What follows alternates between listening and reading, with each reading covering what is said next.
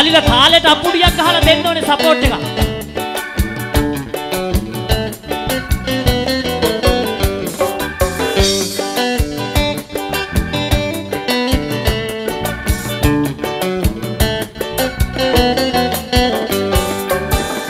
එලාර දුටු ගැමුණු යුද්ධේ තේමා වුණු නාට්‍යයක් නැටුවලු ඉස්සර කාලේ දැන් කාලේ වගේමලු යුද්ධ කතා බලන්නමලු.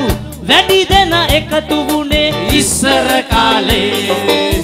පාට පාට විදුලි බුබුලු නළුවාට ෆෝකස් වුණු. වේදිකාවේ තිබුණේ නෑ ඉස්සර කාලේ.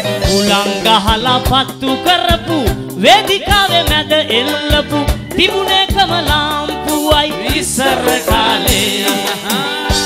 ඉතින් ඉස්සර කාලේ දැන් කාලේ එක්ක සසඳන බලනකොට මාර පිළිවෙලට වෙනස් වෙලා තියෙන්නේ සංවර්ධනය වෙලා තියෙන්නේ හැම දෙයක්ම හැබැයි රසිකත්වයේ දිහා බලපුවම නම් සහෝදරවරුනි මට එහෙම දෙයක් පේන්නේ අපේ සීයලාගේ කාලේ වගේම තමයි දැන් කාලෙත් රසිකත්වය. ඒකට හේතුව මේක තමයි ඒ කාලේ අපේ සීයලාගේ කාලෙත් මේ රටකජු කකා බුලත් පිට කකා හිටපු කට්ටිය වේදිකාව ළඟට ඇවිල්ලා තියෙන්නේ ෆයිට් එකක් නැටුමක් සින්දුවක් යනකොට. දැනුත් එහෙම නෙන්නම් අනේ. ෆයිට් නැටුම් සින්දු නැත්තම් චිත්‍රපටියක්වත් දුවන්නේ මේ ලෝකෙ මගුලක් තේරෙන්නේ නැති හින්දි දෙමළ චිත්‍රපටි ලංකාවේ ඇයි මෙච්චර ජනප්‍රිය? අර සුන්රාහයේද මොකද්ද කියනකොට අපේ මල්ලිලා අත් උස්සගෙන යන තේරෙනවද නෑ? සින්දුව ලස්සනයි ෆයිට් තියෙනවා අර අරු සයිම පටන් ගත්ත තැන ඉඳලා ඉවර වෙනකම් ෆයිට් නැටුම් මගේ අම්මේ මල්ලිලා කට ඇරගෙන බලාගෙන ඉන්නේ සාලේ තියෙන තිරේ දිහා. ඉතින් ඒ මොකද ඒවා අත්‍යවශ්‍ය දේවල්. ඉතින් දැනුත් එහෙම තමයි. හැබැයි මල්ලියේ තරහ වෙන්න එපා කියන්න. ෆයිට් ගැන කතා කරනකොට නම් පොඩි වෙනසක් තියෙනවා අපේ සීයලාගේ කාලේ දැන් කාලේ. අපේ සීයලාගේ කාලේ වේදිකාව ළඟට රසිකයෝ ආවේ උඩ ඉන්න නළුවන්ගේ ෆයිට් බලන්න. දැන් එහෙම නෙමෙයි අපි අත්දැකීමෙන් දකිනවා සමහර දැන්වලට ගියාම උඩ ඉන්න කට්ටියට කරන වැඩේ නතර කරලා යට ඉන්න නළු මල්ලිලාගේ ෆයිට් බලන්න වෙලා තියෙනවා. ඒ වුණාට මන් දන්නවා සියවල ආණ්ඩුව ප්‍රදේශයේ ඉන්නේ බුද්ධිමත් මල්ලිලා. එහෙම නේද? රණ්ඩු ඒව නෑනේ ෆයිට් හිටියා වගේ අන්තිම වෙනකන් ඉන්නව නේද? රයිට් ඒ පොරොන්දුව දෙන්න ඕනේ රයිට්. එහෙමනම් දැන් කවුරුත් බලාගෙන ඉන්න ෆයිට් එක තමයි එලාරගේ දුටු ගැමුණුගේ ෆේස් ටු ෆේස් කඩු ෆයිට් එක. අපි බලමු. මෙන්න තිරේ ඇරෙනවා. එලාර එනවා වන වන වන වන කියනකොට කට්ටිය hina වෙනවා. වනන්න වෙන මොකවත් නෙවෙයි කඩුව කඩුව. කඩුව වන වන එනවා. வாடா வா நான் தான் உலகம் சுற்றும் வாலிபன் நான் உன்னை கொல்லுவேன் வா ඒ එලාරගේ එලාරගේ හඬ මෙන්න අපේ දුටු ගැමුණුගේ හඬ මාගේ මේ ව්‍යායාමය හුදෙක් ශ්‍රී සම්බුද්ධ ශාසනයාගේ දියුණුව පිණිසම වන්නේය ගනු කඩුව එනු සටපටා මට නෙවෙයි වැරදුනේ සමාවෙන්න ඕනේ. අර නලු බට්ටට වැරදුනේ. මොකද සහෝදරවරුනි මේ දුටු ගැමුණු චරිතය තියෙනවනේ එච්චර ලේසි නෑ රඟපාන්න. ඔය කවුරු කවුරුත් කලින් කලට රඟපාන්න ට්‍රයි කළාට ගොඩ දෙනෙකුට වැරදුනා හැබැයි ඉතින් වරදින එක මනුස්ස ගතියක් ගණන් ගන්න එපා හැබැයි හැම මනුස්සයෙකුටම දෙවි කෙනෙක් වෙන්න පුළුවන් එකම එක අවස්ථාවයි තියෙන්නේ තමා වරදට සමාව දෙන හැම අවස්ථාවකම මිනිස්සෙක් දෙවි කෙනෙක් වෙනවා අහලා තියෙනවද කියවන? ඉතින් දෙවියවරු වෙන්න ආස නැද්ද ඔයාලා? එහෙනම් අර පහුගිය කාලේ වැරදිච්ච කට්ටියට සමාව දෙමු නේද? රයිට්. හැබැයි ඉතින් සමාව දීලා මෙහෙම නිකන් අත බැඳගෙන බලාගෙන හිටියට ෆයිට් නැගලා යන්නේ ෆයිට් නැගලා යන්න නම් වටේ ඉඳලා ඇන්කෝර් එක චියර් එක දෙන්න ඕනේ. එතකොට තමයි ෆයිට් එක නැගලා යන්නේ. ඔය කුකුල්ලු දෙන්නේ පොරේට දාලා නිකන් හිටියට හරියන්නේ නැහැ. වටේ ඉඳලා චියර් එක දෙන්න ඕනේ. එතකොට තමයි උන් උනත් කොටා ගන්නෙ. ඇයි මතක නැද්ද? ජාත්‍යන්තර ප්‍රජාව වටේ ඉඳගෙන අපේ යුද්ධ නැගලා යන්න දුන්නු සපෝට් එක මතකද? රයිට්. ඒ වගේ සපෝට් එකක් දෙන්නකෝ ඉතින් මේ දෙන්නගේ යුද්ධ නැගලා යන්නකෝ.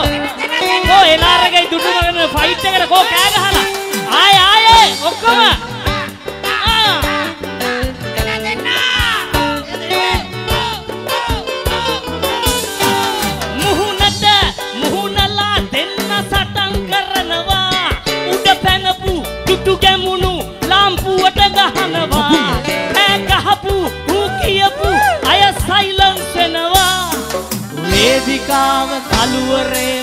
කළුවරේම නොපෙනී යනවා. එලාර දුටු ගැමුණු යුද්ධේ තේමාවුණු නාට්ටියක් නැටුවලු ඉස්සර කාලේ. පාට පාට විදුලි බුබුලු නළුවාට ෆෝකස්සුණු වේදිකාවේ තිබුණේ නෑ ඉස්සර කාලේ. හනේ තිබුණු එකම එක ලාම්පුව දැන් ඒකට දුටු ගැමුණු උඩ පැනලා ගහලා ඒක කඩාගෙන වැටිලා දැන් මේ ලෝකේ මගුලක් පේන්නේ වේදිකාව කට්ට කරුවලයි හැබැයි නරමන උදවිය නිකන් ඉන්නේ නෑ ඒකත් ජාත්‍යාලයෙන් ඉදිමිලා තමන්ගේ පැත්තට වාසි වෙන ආකාරයට සාධාරණීකරණය කරනවා. හැබැයි ඉතින් පහුගිය කාලෙත් මතක ඇතිනේ යුද්ධ කාලේ පලාතට යන්න බෑ. ගිරිනෝච්චියට නෙමෙයි ගියේ අර කෝච්චියට කියලා ඉවරලා එහෙමත් කිව්වේ කට්ටියක්.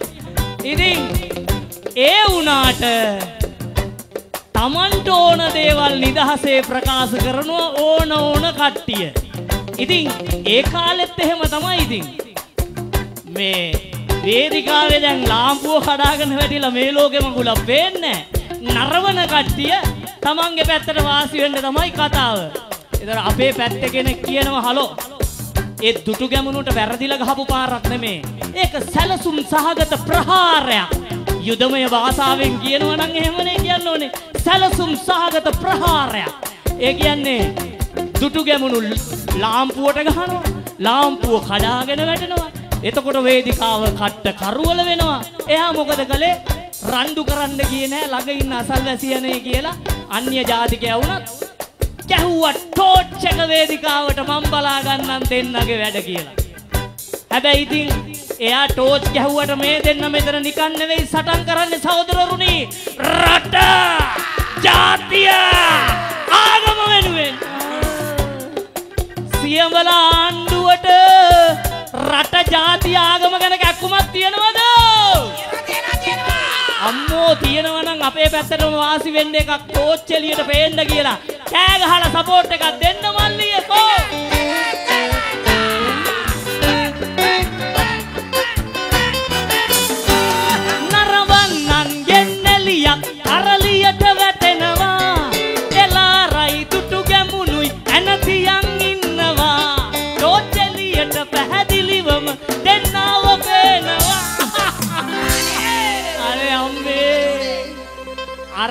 කොල්ල කුරුට්ටෝ නිකන් නහිනවා කවුරු හින්දද? මුන් දෙන්න හින්දා. දෙන්න ජොලියේ ඇන තියාගෙන මාරු වෙවි ලාම්පුවට උලන් ගහනවා අනේ අම්මේ එලාර අල්ලගෙන ඉන්නවා. දුටු ගැමුණු හුලං ගහනවා. ඊට පස්සේ දුටු ගැමුණු අල්ලගෙන ඉන්නවා. එලාර හුලං ගහනවා සහෝදරවරුනි මං අර කලින් කිව්වා වගේ අපිත් අවුරුදු 20 30 ගාණක් මේක දිහා බලාගෙන ඉඳලා දැරිම තැන තමයි සහෝදරවරුනි ගීතයකින් ඔය අපේ අ, අදහස ඉදිරිපත් කළේ. ඒ මොකද මේ කට්ටිය අල්ලගෙන ඉන්නකොට අර කට්ටිය බඩු රැස් කරගන්නවා. ඊට පස්සේ ආය ගහනකොට මේ කට්ටිය අල්ලගෙන ඉන්නවා. අපේ නිකන් කොල්ල කුරුට්ටෝ දාස් ගණනින් මැරුණා. නැද්ද? අතිගරු සේනාධිනායක ජනාධපති මහින්ද රාජපක්ෂ උතුමානන්ට පින් සිද්ධ වෙන්න අපේ රටේ යුද්ධය නැති වුණා. ඒක පිළිගන්නවද? රයිට්. එහෙමනම් එතුමා ඇතුළු සියලුම රණවිරුවන්ට අපි විශේෂයෙන් කෘතඥ වෙන්න ඕනේ ණය ගැති අපේ රට මේ වංචාවෙන් බේරලා දුන්නට. අවුරුදු ගාණක් කළේ ඕක තමයි. හැබැයි මේ සින්දුව පටිගත කරනකොට අපි අපේ කියලා කෑල්ලක් එදා දැම්මා. සින්දුව සම්පූර්ණ වෙන්නත් ඕන හින්දා ඒකත් කියලාම දාලා සින්දුව ඉවර කරලා දාන්නම් කමන්නේ නේ. එදත් තුලං ගැහුවා අදත් තුලං ගහනවා. දෙපැත්තේ ලොක්කො හෙටත් තුලං ගහයිදෝ. කිසිදා නැති නොවෙනා නැතිදා පල නොදෙනා. යුද්ධේ හිඟන්නාගේ තුවාලේ නේදෝ. එදත් තුලං ගැහුවා අදත් තුලං ගහනවා. දෙපැත්තේ ලොක්කො හෙටත් තුලං ගහයිදෝ. කිසිදා නැති නොවෙනා නැතිදා පල නොදෙනා යුත්තේ හිඟන්නාගේ. තුවාලනේ